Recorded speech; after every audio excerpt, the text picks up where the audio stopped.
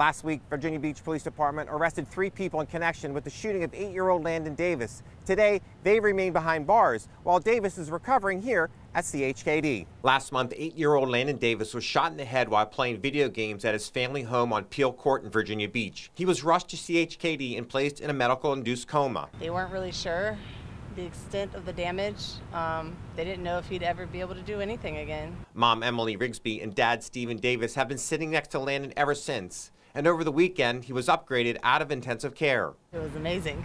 We couldn't wait to get out of there because we knew as soon as we went up floors that that just means he was doing a lot better. The road to recovery is long, and the community has helped out along the way with several fundraisers. And now, a close family member has set up another fundraiser, Landyn's Ride, which hits home with Dad. Motorcycle ride, and uh, that's something that me and Landyn share together. He likes to ride on the back of my bike.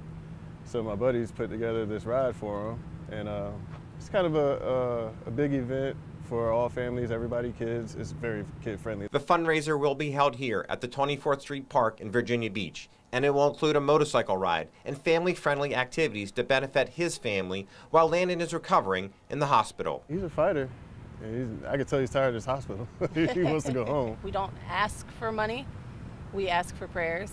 Um, but if they're they're able to show up to a fundraiser, you know, we'd love for them to come out and bring the family and have fun. The fundraiser begins at noon and runs till 10 p.m. on March 23rd. There'll be plenty of motorcycles, food, and live music.